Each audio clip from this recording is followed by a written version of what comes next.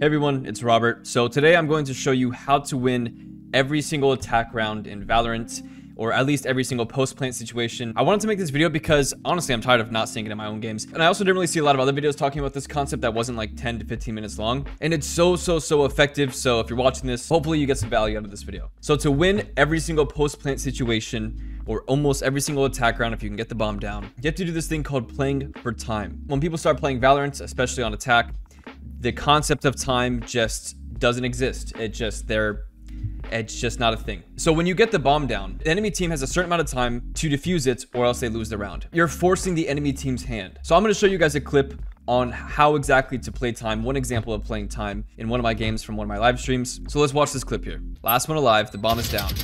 I kill Omen. I know Reyna is alive and she doesn't have that much time left to work with to defuse the bomb. I hear a sticker once, walk up, and I start making footstep noises. The first tap is always fake. Remember that. A majority of the time, the first tap is always fake, especially if you make sounds that you're coming towards them. I guarantee you 99% of the time, if somebody is starting to defuse the bomb and you make noise moving towards them, they will hop off of it. I promise you. So I make noise that I'm moving towards Reyna to let her know that I'm coming. She doesn't really have a choice but to hop off the bomb, otherwise she dies. She hops off the bomb. I saw her hop off the bomb for like half a second there.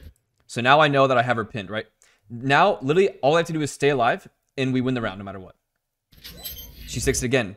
I peek, make sure she's not on it again, because again, she knows I'm here, so she's hopping off it. Now she's trying to bait me, but it's not working because I'm playing time.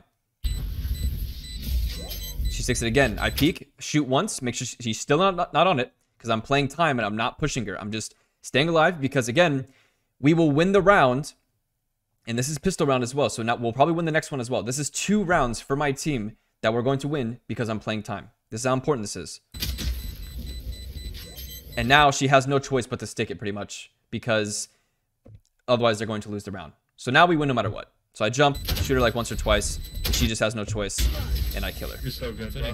I know it's a really simple concept, and you're probably watching this video like I already knew that, but you're not applying it in your games. Especially if you're playing like Brimstone or uh, Viper or Killjoy, especially Killjoy, just stall. When the bomb is down, you don't need to frag out. You don't need to get kills.